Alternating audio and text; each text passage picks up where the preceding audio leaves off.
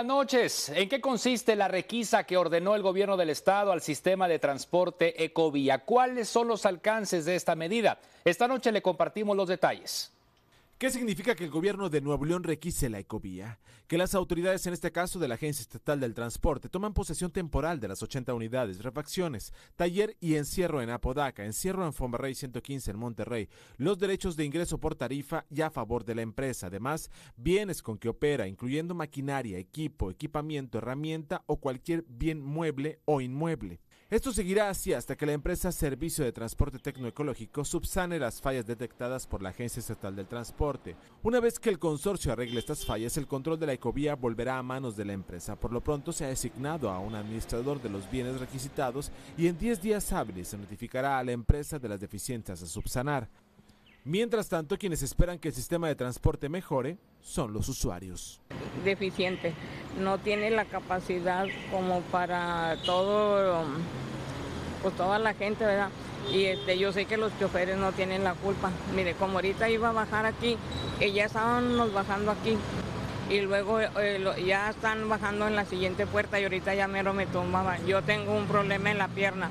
Entonces yo sé que los guardias pues no pueden explicarles pero de que falta aseo, falta concientizar a los choferes, faltan muchas cosas. Pues está todo amontonado, no, no hay coordinación, o sea, o sea, no hay quien te explique para dónde ir, para dónde, o sea, qué puerta agarrar para la dirección, la dirección. muy lleno. Aparte, aparte muy lleno, sí. Muy malo. ¿Por qué? Se tardan mucho. ¿Se tardan mucho? ¿Cómo cuánto se tardan? No, pues bastante, siempre tenemos que esperar otro. Hay mucha gente. O sea, no son suficientes. Son ellos quienes esperan que la ecovía ofrezca un buen servicio. Vicente Valdés, Noticieros Televisa. Bien, pues esta noche nos interesa conocer un poco más acerca de esta medida. ¿Cuáles son los alcances? Eh, ¿Cuál es la trascendencia que tendría que el gobierno del estado de Nuevo León esté asumiendo de manera temporal el control operativo de este sistema de transporte? Tal como se contempla en el periódico oficial del estado, ¿a cuáles son los acuerdos a los que llegó el gobierno de Nuevo León con la empresa concesionaria de estos servicios? Pues sí, se está asumiendo durante estos días el control del sistema de transporte Ecovía y se cuenta con un plazo de 10 días hábiles para hacerle saber a la empresa concesionaria o al consorcio de transportistas que han venido prestando el servicio desde el arranque de operaciones de Ecovía cuáles son las condiciones. La pregunta es, ¿qué va a suceder después?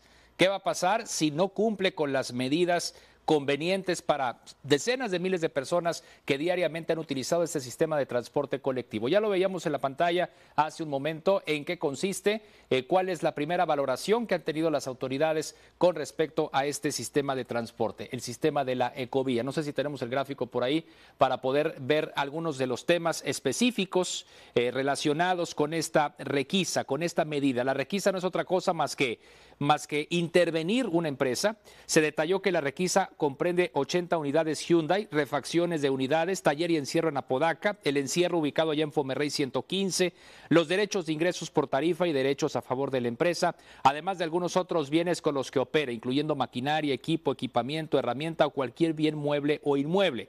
Como le decía usted, el plazo es de 10 días hábiles. Dentro de 10 días hábiles se notificará a la empresa o al consorcio de este grupo de transportistas que han venido prestando el sistema de transporte colectivo, cuáles serán entonces las deficiencias que se tendrán que subsanar. Como recordamos, la ecovía comenzó eh, a funcionar a finales del mes de enero del año 2014.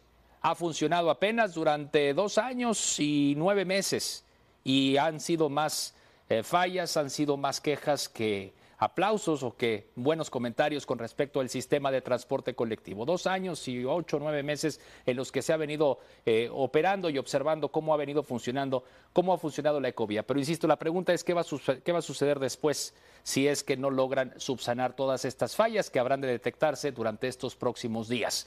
Otro de los temas que